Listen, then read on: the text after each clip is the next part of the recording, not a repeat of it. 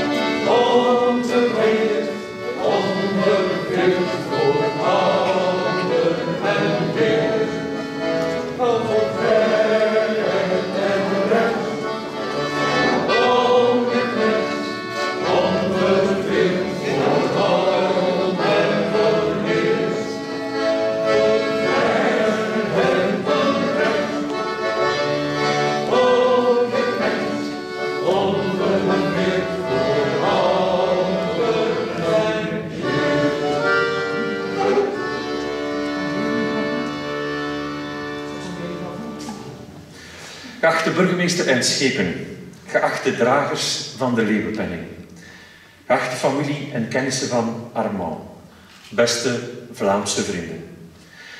We knopen als Davidsfonds opnieuw aan met onze jaarlijkse traditie voor de uitreiking van de leeuwenpenning. Ditmaal voor de dertigste keer. Deze traditie werd opgestart door de Waase Jonge Leeuwen en verder gezet door het Davidsfonds Sint-Niklaas. De Leeuwenpenning wil een persoon in de kijker zetten die zich jarenlang heeft ingezet in de Vlaamse beweging en die meebouwt aan de Vlaamse zelfstandigheid en onafhankelijkheid door samenwerking en overtuiging. We zullen van de laudatio-sprekers vanavond horen hoe onze laureaat hieraan voldoet en dit concreet heeft vormgegeven. Door corona hebben we de uitreiking een jaar moeten uitstellen en de formule wat moeten beperken. Dit jaar onze verontschuldiging hiervoor. Maar uitstel is inderdaad geen afstel, daarom zijn we vanavond hier samen. En we zijn blij om dat te kunnen doen samen met Jan Janssens, die voor de muzikale omlijsting zorgt, en voor Marleen Wijmeers, die de bidteksten voor haar rekening neemt, waarvoor onze dank. Met de Leeuwenpenning wil de Davidsfonds als Vlaams christelijke cultuurvereniging duidelijk een van haar drie kernwaarden, namelijk het Vlaams karakter, in de kijker zetten. We zijn bijzonder dankbaar dat jullie hier vanavond met ons samen zijn om Armand als uh, laureaat van de Leeuwenpenning uh, samen te vieren. Ik geef dan nu graag het woord aan Marleen voor de verdere verloop van deze huldiging.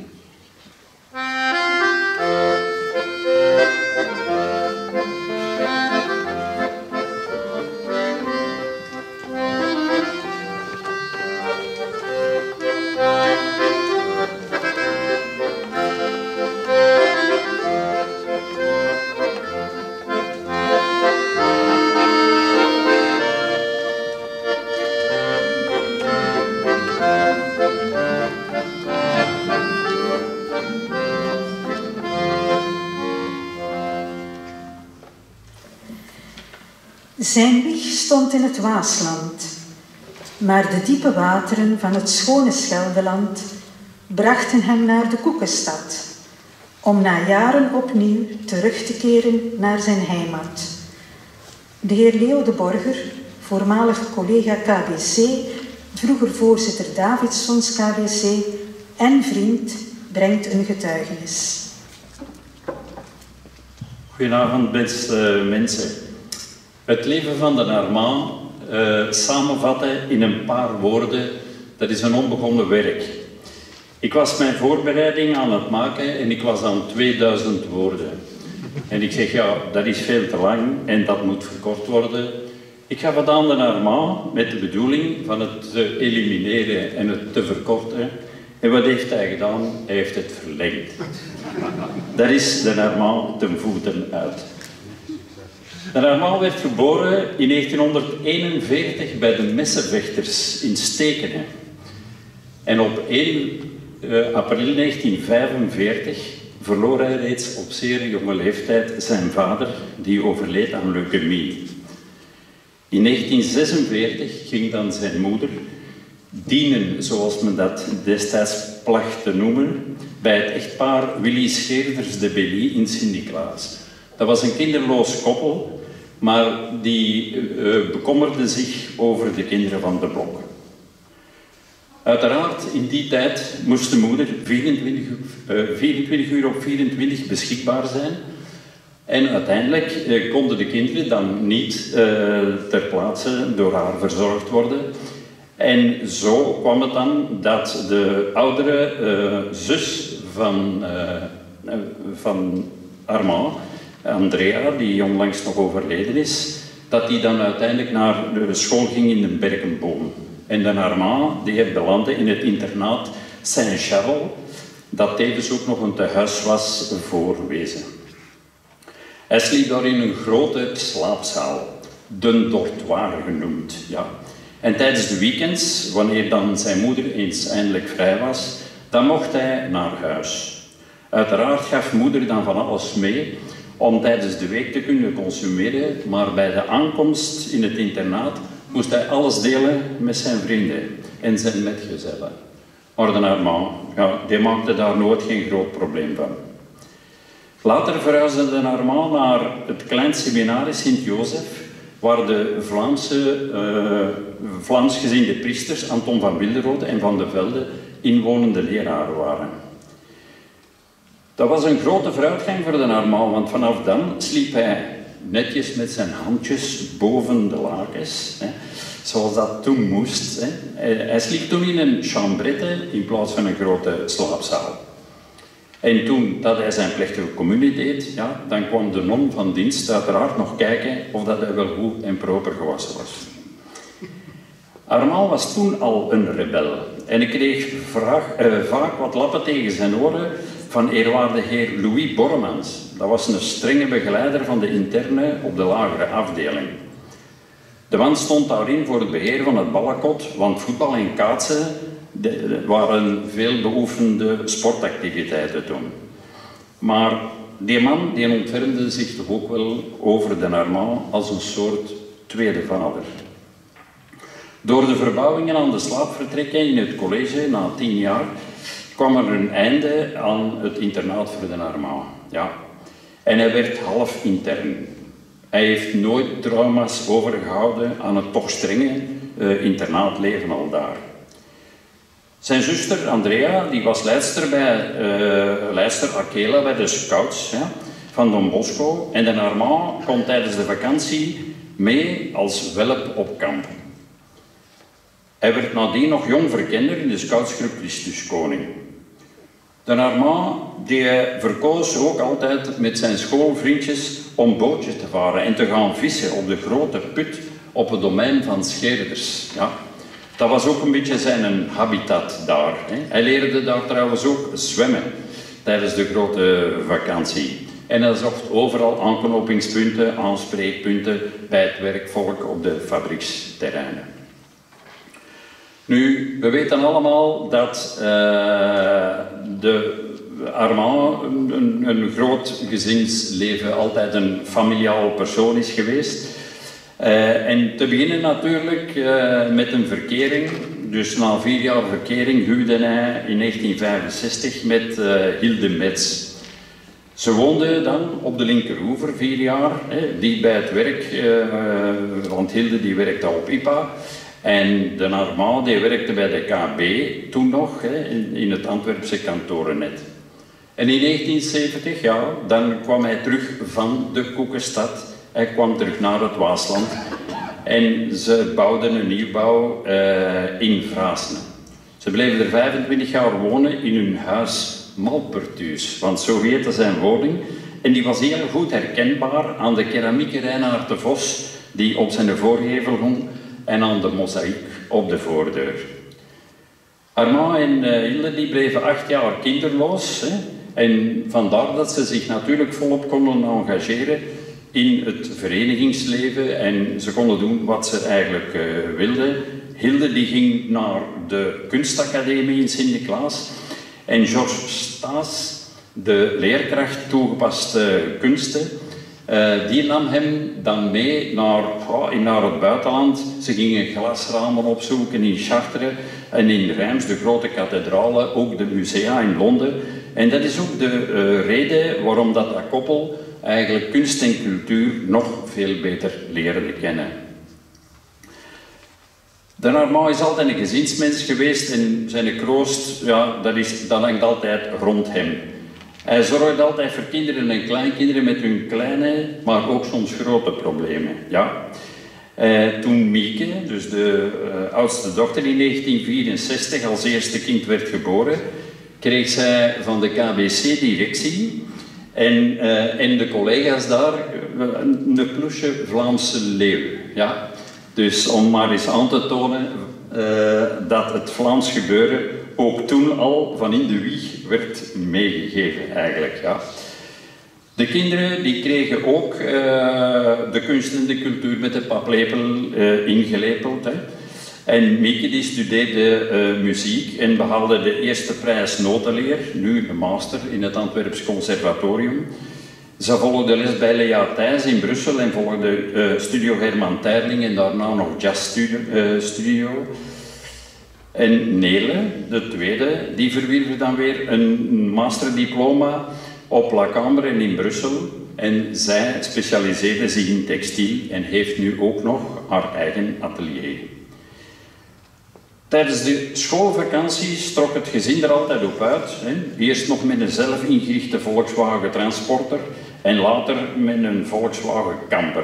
Maar de combinatie tussen cultuur en natuur was altijd een uitgangspunt om West-Europa te leren verkennen. De Armand heeft ook nog notenleer en zo geleerd. Hij uh, leerde klarinet spelen aan de muziekacademie in Sint-Niklaas. Maar veel verder dan het spelen van Petit Fleur is er nooit van gekomen, door gebrek aan tijd natuurlijk. Dus we moeten niet verwachten dat hij van de avond een solonummerke voor ons gaat spelen. Het leger.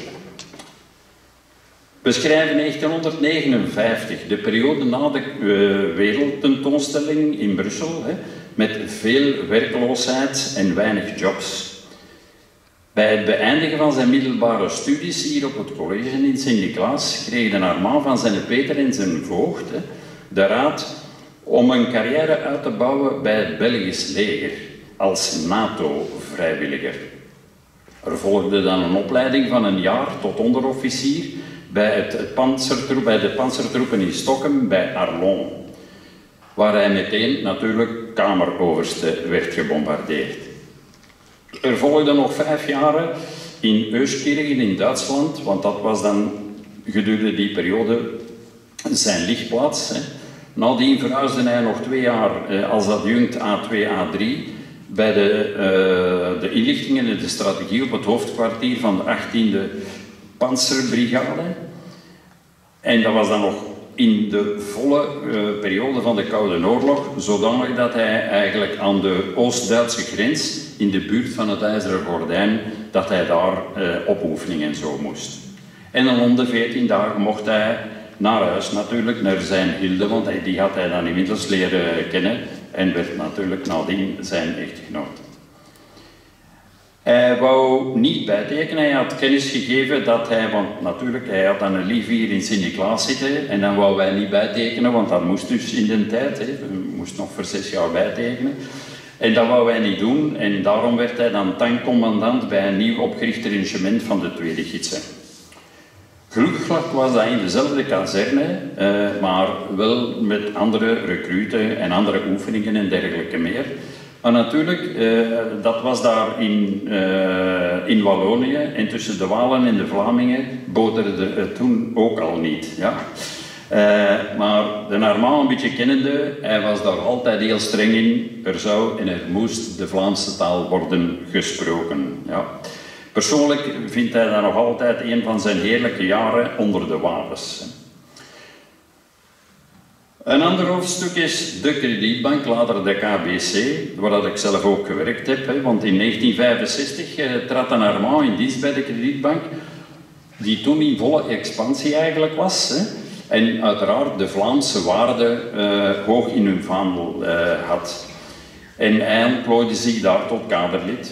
En het is daar, in 1969 begon ik op de bank te werken. En het is daar dat ik dan Armand heb leren kennen. Uh, ik kwam daar op die afdeling, waar dat hij dan, dat was de afdeling organisatie. En ik zag daar zo een Norse kerel rondlopen, zo'n geheimzinnige figuur, met zijn brilletje zo wat. En die, die, hij hield mij altijd maar in doog, terwijl dat ik uh, aan het spreken was met mijn eerste baas. Maar hij kwam er eigenlijk zo nooit niet tussen. Dat was eigenlijk de Armand. Ja. En de Armand die startte zijn carrière in het kantorennet uh, in het Antwerpse.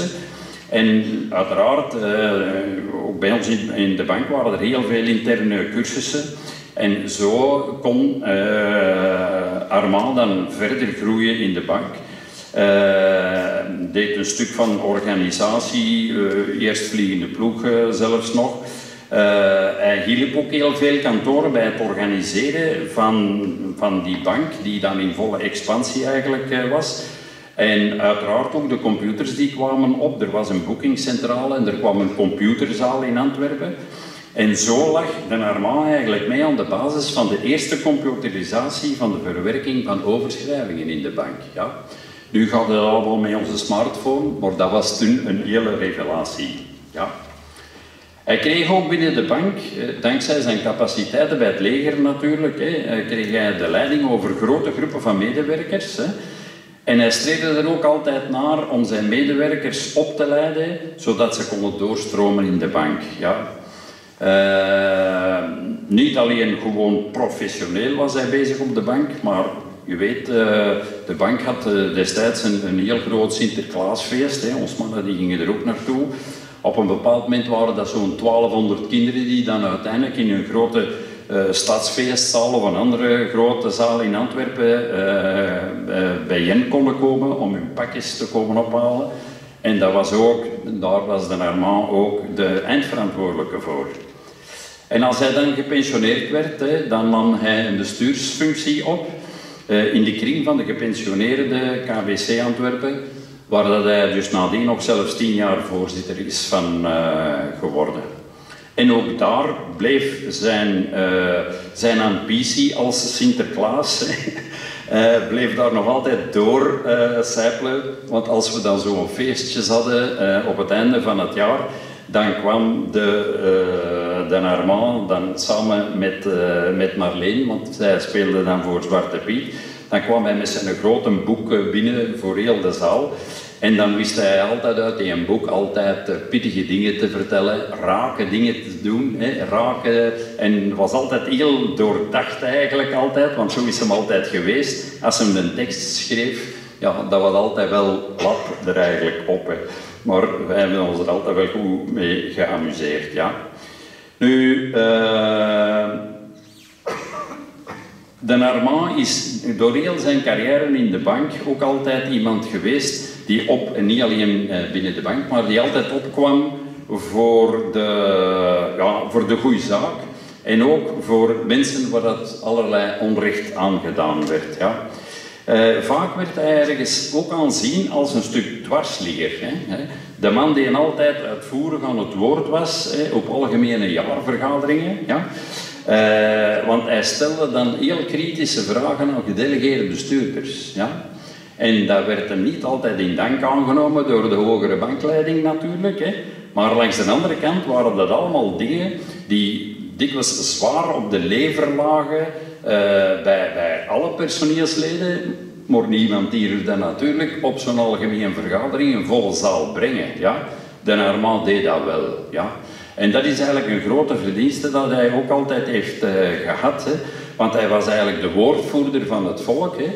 En ik ben ervan overtuigd dat op een bepaald moment dat hij zelf er een prijs zelf voor betaald heeft. Hè. Dat er, er zo'n hoge piet aan de bank, dat hij zegt, zegt een die geen categorie van verhoging. Ja, ik ben ervan overtuigd, ja. Maar hij deed dat en hij cijferde zichzelf altijd weg.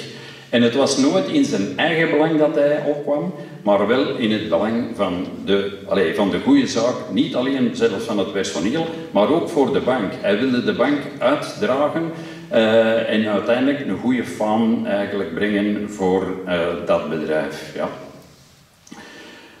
vele zaken die de Armand zo uh, aanbracht bij de gedelegeerd bestuurders, werden dan soms jaren nadien pas uitgevoerd. Hè? Want hij was de voorloper ervan. Uh, op de lange duur kwam er dan toch wel van alles op gang. En wat zag je dan? Dat er vier of vijf jaar nadien bepaalde dingen eigenlijk werden, uh, werden uitgevoerd. Zelfs uh, ja, vergoedingen en dergelijke meer werden dan toegekend. Hè. Maar natuurlijk op die moment was er al vier of vijf jaar over. Hè. En dan waren er anderen die met zijn pluimen gingen lopen. Terwijl dat hij wel de basislegger was. Ja. En dat is toch wel iets dat we toch wel even wil onder de aandacht uh, brengen. Ja. Dan de, de herstructurering natuurlijk op een bepaald moment, de KB met de, met de SERA, ja, die werden bijeengebracht. Hè, en uh, ja, dan kwamen er heel wat jobs in gedrang. Ja. En ook daar heeft hem een belangrijke rol in gespeeld, samen met, uh, met zijn vriend Robert van Rompuy. Hè. Uh, dat hij als, af, uh, dus als vakbondsafgevaardigde, want hij was dat dan ook op een bepaald moment, uh, dat hij dus die gesprekken over dat personeelsbeleid in die fusiebank, dat hij daar toch wel behoorlijk zijn stempel heeft op, mee heeft, op kunnen drukken. En daar hebben wij allemaal goed mee geweest. Ja. Het Davidsfonds, ja, dus het Davidsfonds binnen de KBC Antwerpen hadden wij een eigen Davidsfondsafdeling. Dat was zo een, een, een apart gevalken eigenlijk. Ja. Uh, ik ken mijn echtgenote, wij hebben er jaren altijd uh, magnifieke dingen mee meegemaakt. Uh, ja. En op een bepaald moment werd ik, gevraagd, werd ik dan gevraagd om daar voorzitter van te worden. En omdat dat, omdat we ja, wat jonger en wat te, te verjongeren en wat vernieuwing te brengen. En de was toen al in het bestuur van, van het Davidsfonds. Hè. En hij koos ook resoluut voor de vernieuwing. Maar hij was ook altijd de, uh, moet ik zeggen, de kritische bewaker hè, van de waarden, de grondwaarden van het Davidsfonds. Want uiteraard, zo'n jonge ploeg, ja, die kennen heel die achtergrond veel minder. En die zijn natuurlijk uh, een klein beetje forser er eigenlijk in. Maar de Armand was altijd de man die zegt, oh man, hè, dat stemt hier niet meer overeen met hetgeen waar wij eigenlijk als Davidsfonds voor staan. Ik heb hem er altijd voor gewaardeerd dat hij ons zo eens af en toe eens bij onze schabbernak uh, pakte. Ja. Uh, nu nog, hè, als medebestuurslid van het Davidsfonds brengt hij nog altijd, organiseert hij nog altijd goed gedocumenteerde jaarlijkse daguitstappen. Dat moest altijd uh, pikfijn in orde zijn. Zijn uitgangspunt was altijd, Leo, uh, dat moet iets zijn. Hè, dus als we ergens naartoe gaan, dan we moeten één heel goede fietsen hebben. Ja? En we moeten ergens komen waar een ander niet kan komen. Zodanig dat er een toegevoegde waarde moest zijn. Dat was altijd zijn standpunt. En als er iemand met een voorstel afkwam, dan was dat altijd afchecken of dat, dat aan die voorwaarden wel degelijk voldeed. Hè? Hij trok dan met ons ja, door heel zijn Vlaanderen, de voerstreek Frans-Vlaanderen, we hebben overal gezeten, de streek van de, van de IJzertoren. Maar altijd was er zo van uh, toch een bochtje om dan toch uiteindelijk hier in dat zoete land van Waas terecht te komen bij de Volsreinaard. Dus uh, uh, hij is er altijd een grote voorstander en een grote voorvechter voor geweest. Maar ik moet zeggen, we hebben ons dat ook nooit niet bespijt. Ja? En dan uiteraard, uh, hij was op een bepaald moment hoofd van de logistiek in de KBC Antwerpen. En uh, ja, zo mochten wij dan natuurlijk het grote auditorium uh, van de bank gebruiken voor ons voordrachten en dergelijke meer. hij speelde het zelfs klaar dat wij op een bepaald moment uh, in het Rokokshuis, die, prachtige, die prachtige woning van de burgemeester van vroeger, dat wij daar zelfs met een toneelgroep van de bank mochten spelen, dat wij daar een volledige cast mochten zetten. Daar hebben duizenden mensen hebben daar kunnen komen en uh, kijken.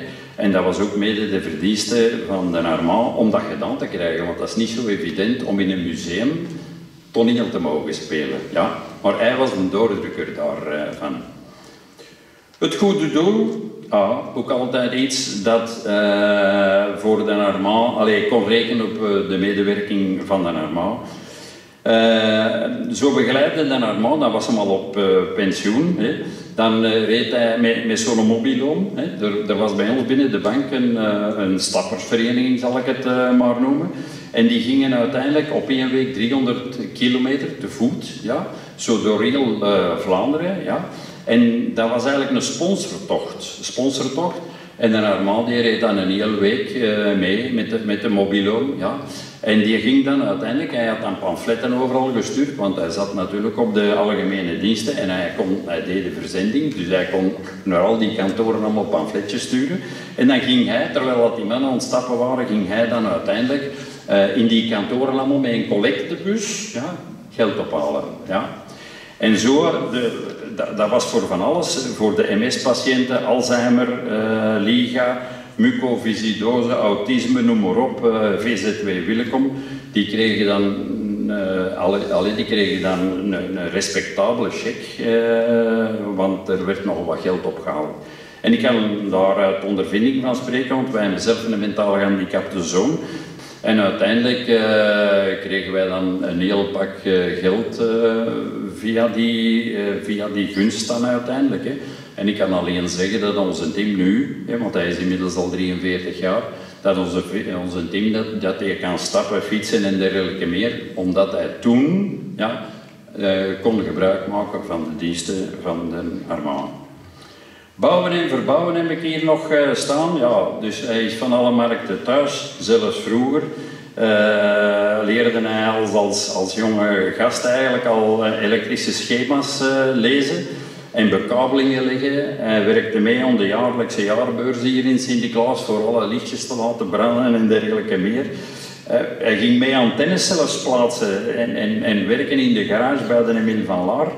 Met andere woorden, dat ging hem altijd goed af. En uiteraard, uh, het bouwen en verbouwen, dat zat dan in hem in. Hij heeft zijn eigen woonst met zijn atelier dan in Vraasne gezet. Nadien is hij dan naar de Koekenstad gegaan en heeft hem er in de Haarstraat een heel pand uh, verbouwd. Waar dat dan ook uh, nadien uiteindelijk een, een ja, verbouwd tot een galerie. Hè, waar dat dan uiteindelijk de dochters ook nog een, gewoond hebben, als het mij goed voorstaat. En dan nog wat later heeft hij dan een groot oud pand, een prachtig pand, een historisch pand trouwens in de binnenstad, helemaal verbouwd. Uh, met andere woorden, hij heeft nooit niet stilletjes gezeten. Hij heeft natuurlijk uh, Hilde, want dat mag hier ook nog wel eens gesteld worden. Het was dikwijls Hilde die de ideeën eigenlijk uh, naar voren bracht. Hè. En de Armand moest uitvoeren en hij zocht er dan ook, want hij kan natuurlijk niet alles zelf. maar hij wist dan ook altijd vrienden en dergelijke bijeen te ramasseren om dan mee te komen helpen. Ik wil ermee afsluiten, beste mensen, want je kunt hier nog uren blijven verder vertellen van wat dat Armand allemaal betekend heeft in onze maatschappij. Ja. Maar ik wil toch afsluiten met een Armand te feliciteren met deze verdiende huldiging. Ja. Uh, die ondanks de coronamaatregelen nu toch is kunnen doorgaan. Hè. De Armand zelf, hè, als ik terugkijk zoals ik hem heb leren kennen, hij is, hij is altijd de man geweest die achter de schermen heeft uh, gewerkt. Ik noem hem altijd zo wat de polydor van de verenigingsleven. Ja? Uh, die altijd een tweede eigenlijk is, dikwijls uh, de voorvechter voor alles, alles aandragen, alles organiseren, maar eigenlijk zo zelf nooit op het, op het, op het bovenste schavotje gestaan. En daarom vind ik dat het nu de gelegenheid is, is om hem zelf op het bovenste schavotje te zetten.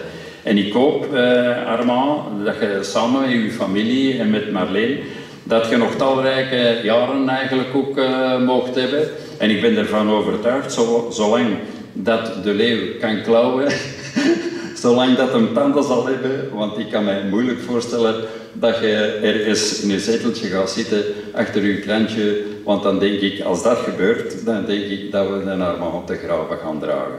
In ieder geval, Armand, proficiat voor al die jaren dat je ingezet hebt voor de verenigingen hier in Sint-Niklaas, maar ook verder uh, daarbuiten.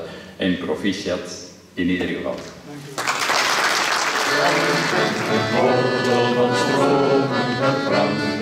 Vlakten der zee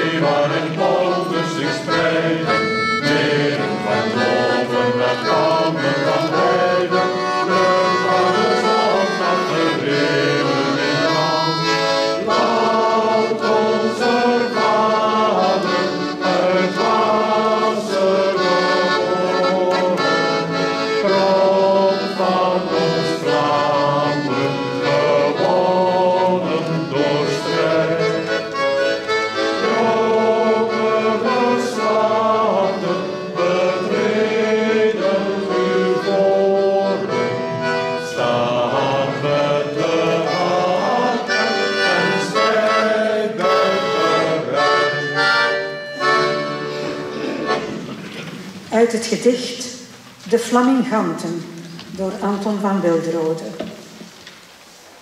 Een legioen van ongetelden, vrijwilligers, geen vrijgestelden, de stille in de landen, de flaminganten, getekenden, getuigen en getrouwen, gewone mannen en gewone vrouwen, met zuivere intenties, zuivere handen, de flaminganten, de dromers en de zielsverwanten, de tederen en de felgetanden, de flaminganten, de flaminganten.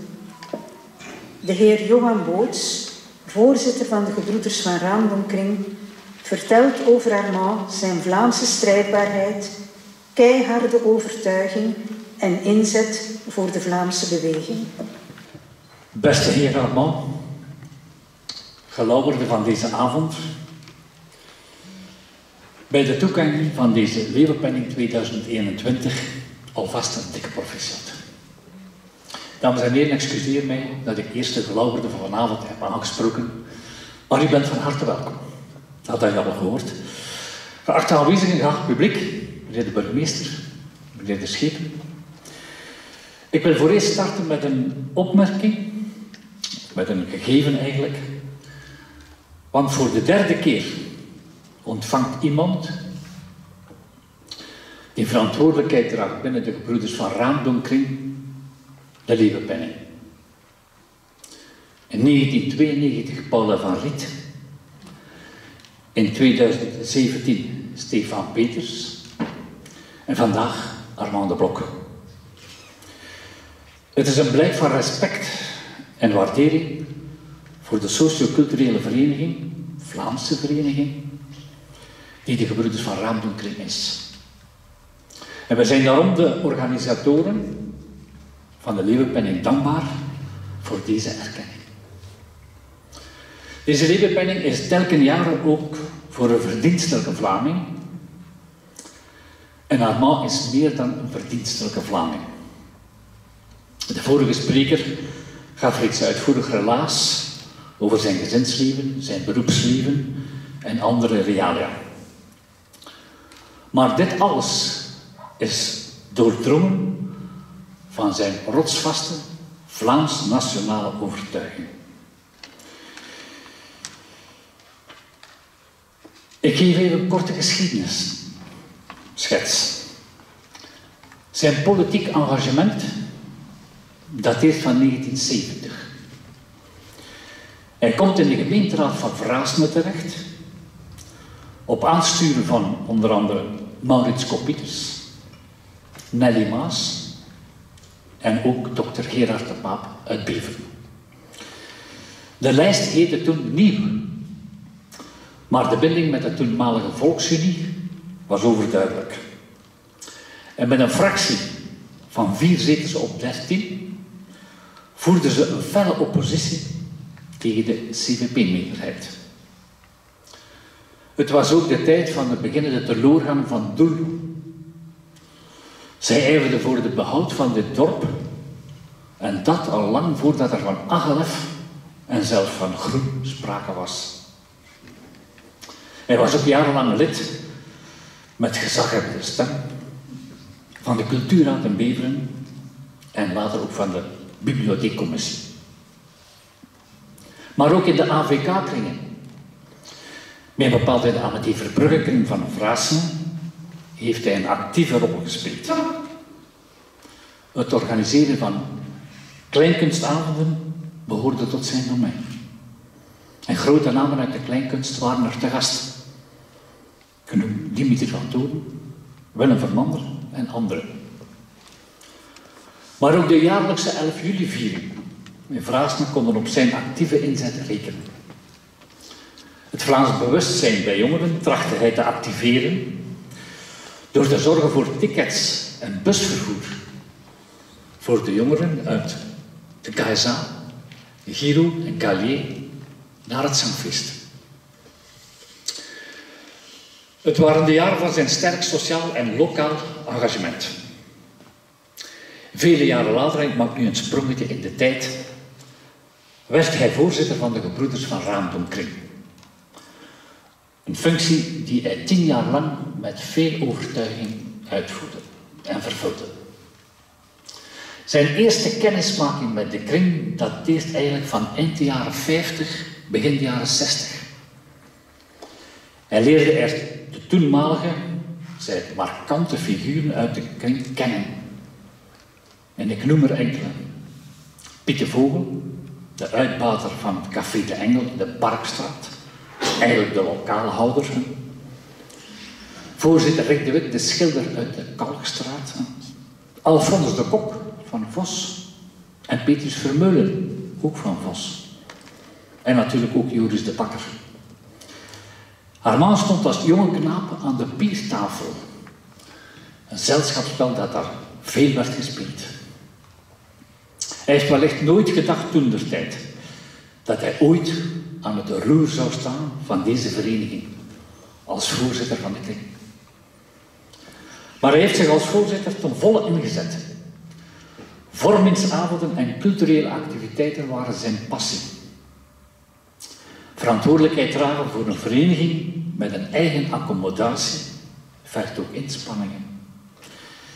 Want naast zorgen voor een divers aanbod aan activiteiten is er natuurlijk ook de zorg om alles financieel rond te krijgen. Hoeft het nog gezegd, Armand heeft dat met glans gedaan. Hij heeft voor de kring gezorgd als een goede huis...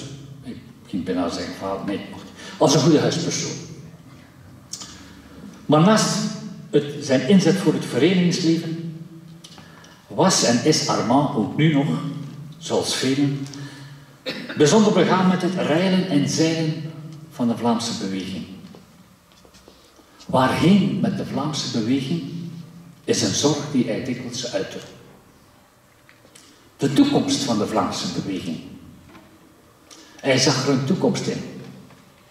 Meer nog, hij zag toekomst in de samenwerking onder gelijkgezinden. De bundeling van de krachten. Een dialoog met anderen. En uiteraard met het ultieme doel voor ogen, zelfbestuur. Een eigen Vlaamse staat, een onafhankelijk Vlaanderen. De leuze ik hou, en voor de kennis weten dat, ik met een C en hou met grote letters. De levensleuze van het Sint-Jozef Klein Seminari in Sint-Niklaas, die maakte hij tot zijn levenskeuze. Verbondenheid, trouw en verdraagzaamheid. Het ijveren voor meer solidariteit en verstandhouding tussen Vlamingen beschouwde hij, en nu nog, als zijn opdracht. Broederlijkheid en Vlaams engagement kenmerken zijn persoonlijkheid. Beste Armand, het moet een aangenaam gevoel zijn hier vanavond gedurende enkele uren geprezen en bewierookt te worden. Maar het is verdiend. De overhandiging van vandaag is een monument van dank en ook van respect voor uw inzet tijdens het verleden, maar ook een eikpunt om u ook in de toekomst te blijven inzetten voor een beter Vlaanderen. We wensen u nog vele jaren samen met Marleen en uw familie. En om het met de woorden van de collegejaren te zeggen, ad multos annos. Proficiat.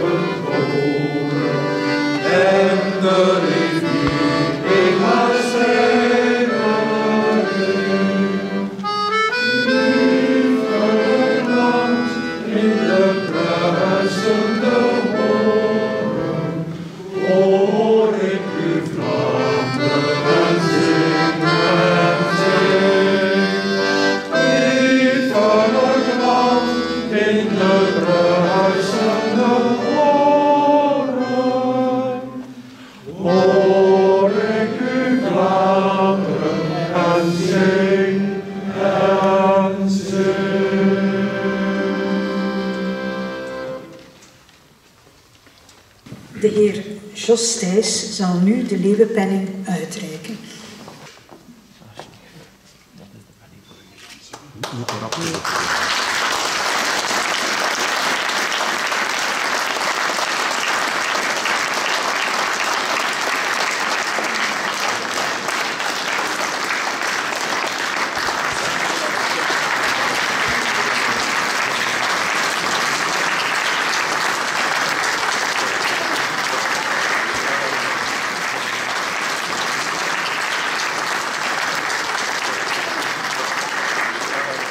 Na al deze lovende getuigenissen laten we Armand zelf aan het woord. Ik zal het kort houden. Beste familie, Vlaamse vrienden. Voor eerst dank aan mijn vrienden Leo de Borger en Johan Boots voor al die woorden van lof. Het graven in iemand zijn verleden kan confronterend zijn. Waaraan heb ik het verdiend? Natuurlijk voel ik mij vereerd, zelfs gevleid, met deze leeuwenpenning. Als wij even de lijst van de laureaten bekijken die in het verleden deze zeer gewaardeerde erkenning in ontvangst namen, vaak uit zeer uitlopende gronden, dan ben ik zelf zeer trots. Want hier in ons geliefd Vaasland hebben wij Flamenganten en Groot-Nederlanders gekend die terecht aanspraak konden maken op een erkenning als deze.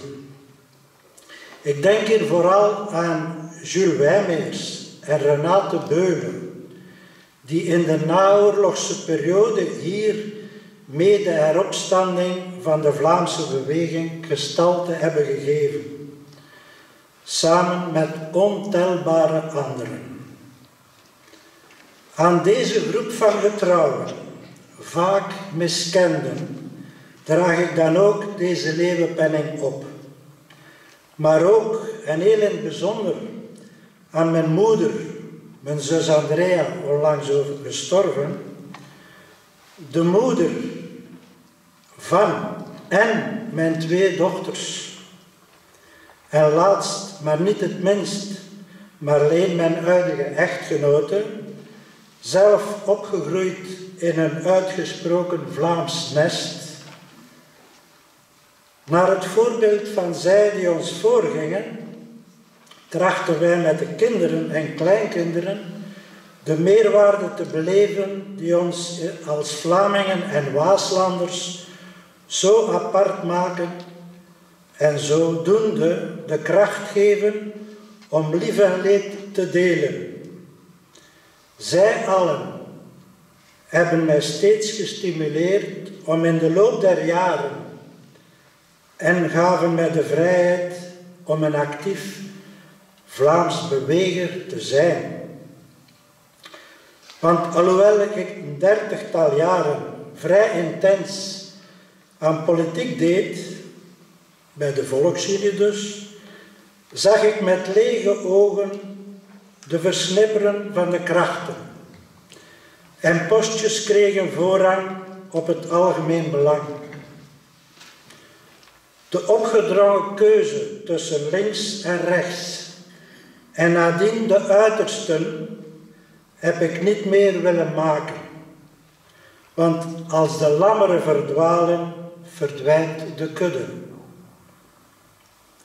Sociaal en federaal was in het politiek mijn uitgangspunt. En een scout heeft tot plicht zich nuttig te maken en anderen te helpen. Als Vlaams beweger sta ik ook nooit alleen. Je kunt niet zonder de anderen. Mijn speciale dank gaat dan ook uit naar de mensen die mij tijdens die periodes als voorzitter of bestuurslid of afgevaardigde hebben gesteund.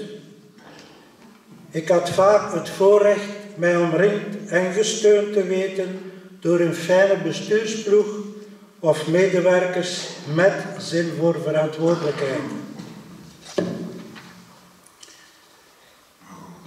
Een van de meest memorabele momenten heb ik beleefd op een busreis met onze KBC Torentrotters naar de Catalaanse Pyreneeën, Andorra in 2013.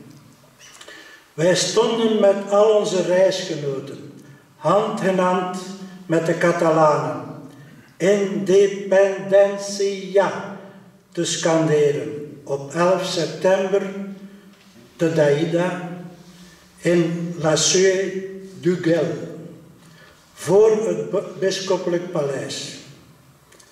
Konden wij maar eendrachtig als één Vlaams front naar voortreden en ons uiteindelijk doel, het zelfstandig Vlaanderen, realiseren.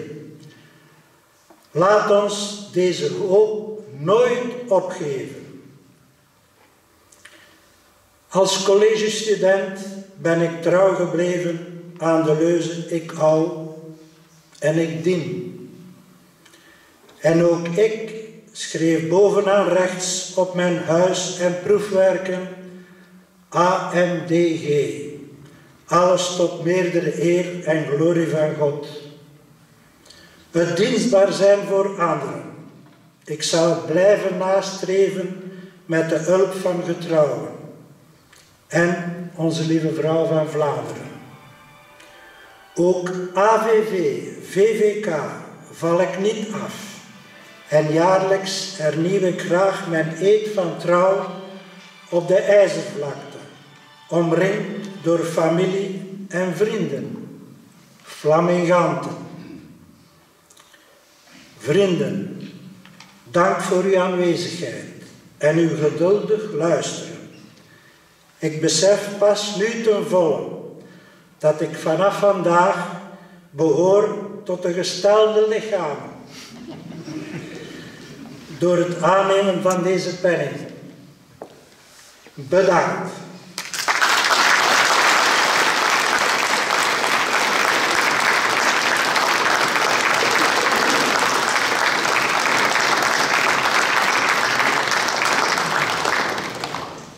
Wij zijn één volk. Wij zullen blijven zingen en leven naar de letter van dat lied, totdat het waarheid wordt en minder niet. Laat ons recht staan voor onze nationale liederen.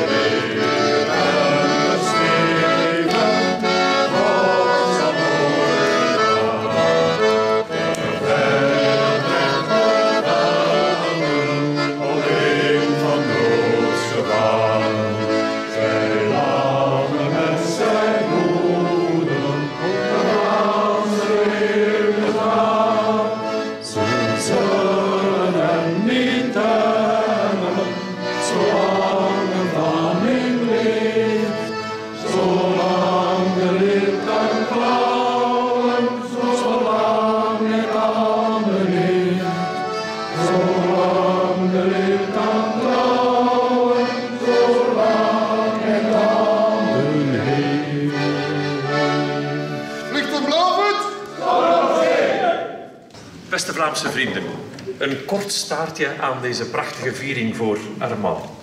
Allereerst wil ik de burgemeester en de schepen van cultuur danken voor deze prachtige nieuwe Paterskerk waar we vanavond te gast mogen zijn voor deze bijzondere viering van uh, Armand. En jullie allemaal nodigen we nu van harte uit op de receptie. Uh, daarvoor stel ik voor van het voetpad hier te volgen, eventjes tot op het voetpad van de straat te gaan, rechtsaf te slaan en dan naar de zaal Familia. Omdat door de tuin is het nogal hobbelig en dan riskeren we van een aantal van jullie te verliezen onderweg. En dat zouden we bijzonder jammer vinden. Dus wij nodigen jullie nu allemaal graag uit op de receptie. Bedankt om bij het officiële deel te zijn en bedankt ook om aan te sluiten voor de receptie waar we dan een glas zullen drinken op Armand en op de gastheren van vanavond. Bedankt.